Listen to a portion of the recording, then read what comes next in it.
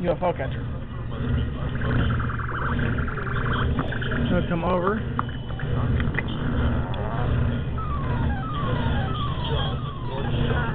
Oh yeah. Yes! Tip it off.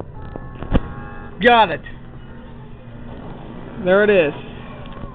Now we're gonna try for that Coke can.